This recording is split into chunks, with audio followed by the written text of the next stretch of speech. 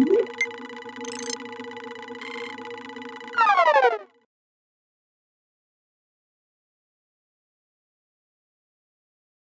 my name is Brian Suhr. I'm on the TME team here at Nutanix. In this video, we're going to be taking a look at the auto cluster selection. This will automatically place a virtual machine on a cluster based upon uh, different capacity and performance uh, reasonings. This is beneficial if you are an organization trying to operate your infrastructure in more of a cloud-like manner, where you'd like to have the workloads placed automatically on clusters that have the capacity for them, rather than having to manually select a cluster and do that load balancing placement decisions, uh, either with a human or some made up uh, you know, automation process. Let's get into the demo. To save time, I've already logged into our Prism Central instance. And since we're going to be showcasing automatic cluster selection, uh, ideally we need more than a single cluster. So let's take a look at our hardware and the clusters list. And we can see in this demo environment, I've got two clusters configured. Now we can head up to compute and click on the virtual machine. And then we're going to create a new virtual machine. Let's just call it demo.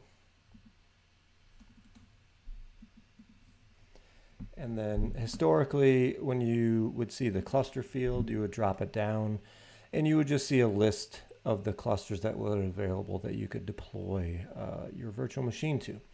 You can still do that. So if you'd like to declare which one you'd like the VM to land on, you can just select that and it will deploy it there.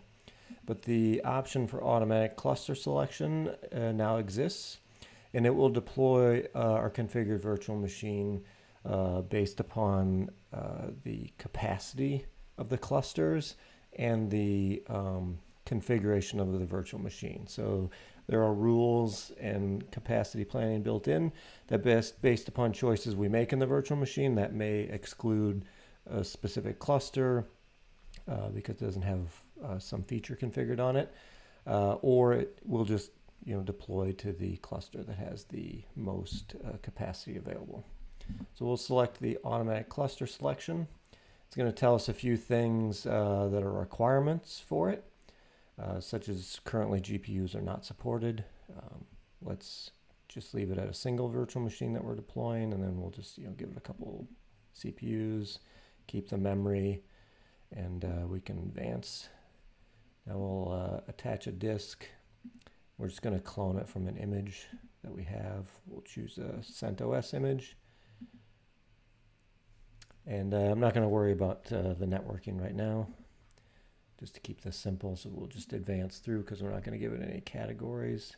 Scroll down, we can see all the configured. And then when we click Create VM, it'll uh, just take a little bit here. And we can now see our new demo VM was created and it landed on the Marketing 238 cluster.